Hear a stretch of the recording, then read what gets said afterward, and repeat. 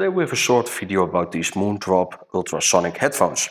So Moondrop also makes like a phone, also some other audiophile products, but these are pretty interesting because they are wireless, so it's not really audiophile level fully, but they did decide to make it very neutral tuned, also very well with different Bluetooth codecs, and they even included noise cancellation. And normally you don't see that like combination with audiophile sound, noise cancellation and even Bluetooth.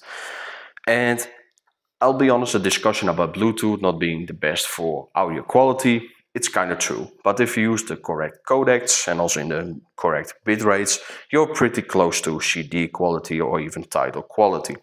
And these do perform pretty well on that kind of level. So for me, they even fit pretty well in the ears. So it is really sealing my ear very well, but they're also still pretty comfortable because earbuds are not really my favorite thing to use because in most cases it annoys me a bit how they sit. But this one, it is fine. And the case is pretty funny as well. It's a transparent case, but also you can hang it on. It is pretty simple to open. And on the sides, you actually remove like the headphones. Pretty cool design yeah, it's definitely not the best for waterproofness, but it is definitely an easy case to use.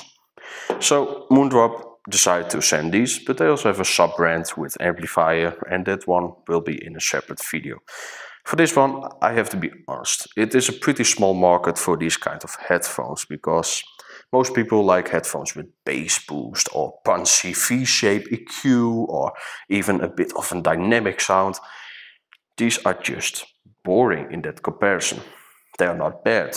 I really like them because they're pretty well giving you the experience from things that are being sent out. This does make them pretty great for people that like to do some small editing for sound or video because they don't do too much of an after effects on those scenarios. But yeah, for the normal people, the ordinary customer, they are maybe a bit too high yeah, taken.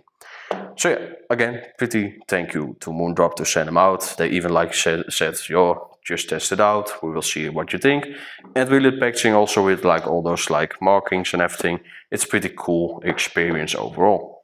Hope you guys enjoyed this video and see you guys in the next one.